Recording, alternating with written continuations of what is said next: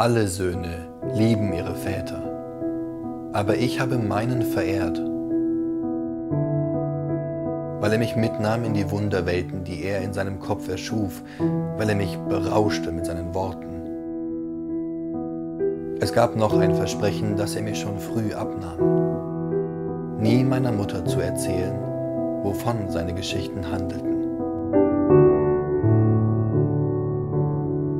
Am Ende bleiben die Zedern eine Geschichte über die Suche nach den eigenen Wurzeln, die Suche nach der Heimat.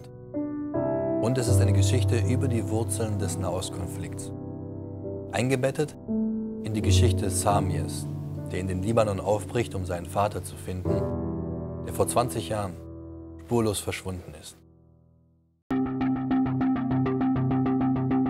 Heute heißt es, ich sei nicht schuld daran, und dass ich Mutter nicht hintergangen hätte, weil ich ihr alles verschwieg. Sie sagen es, weil sie nicht wissen, dass es Momente gab, in denen sie mich schüttelte und anflehte, die Wahrheit zu sagen. Sie sagen, selbst wenn du alles anders gemacht hättest, was hätte es geändert? Aber die Wahrheit ist, ihre Worte bedeuten nichts, weil ich es besser weiß.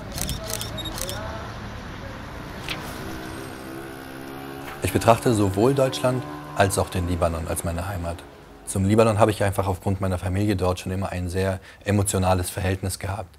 Und darum war es mir wichtig, nicht nur die Geschichte einer Familie zu erzählen, die zwischen diesen Ländern hin und her gerissen ist, sondern auch die Geschichte eines Landes mitzuerzählen. Und ich glaube, dass die Kenntnis der Geschichte des Libanon dabei helfen kann, die Tatsachen und Aspekte besser zu verstehen, mit denen wir auch hier in Deutschland gerade jeden Tag konfrontiert werden.